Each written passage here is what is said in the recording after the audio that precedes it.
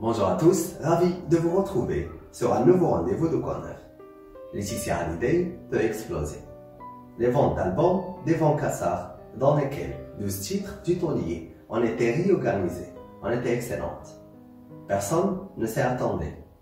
Mais en trois jours à peine, 97 000 unités du paquet Johnny ont été vendues.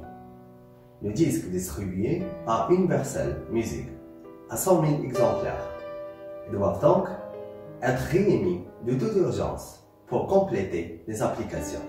À l'approche de Noël, le record peut battre des records. Selon le spécialiste de la musique Fabien Lecoeur, le nombre total pourrait atteindre 600 ou 7100 exemplaires.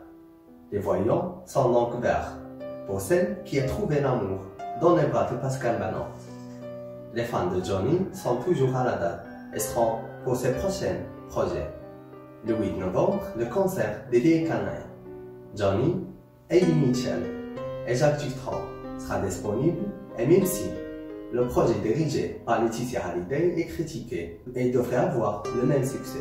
Parce que ce sera le dernier concert rassemblé par Johnny.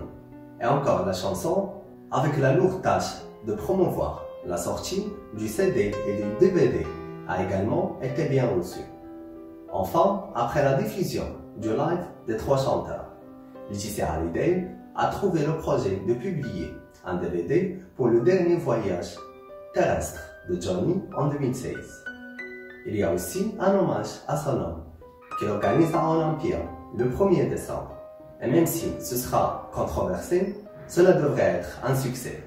C'est déjà la fin de ce rendez-vous. Merci de s'abonner à la chaîne et n'hésitez pas de mettre un like. Ça nous aide beaucoup à nous développer. À bientôt.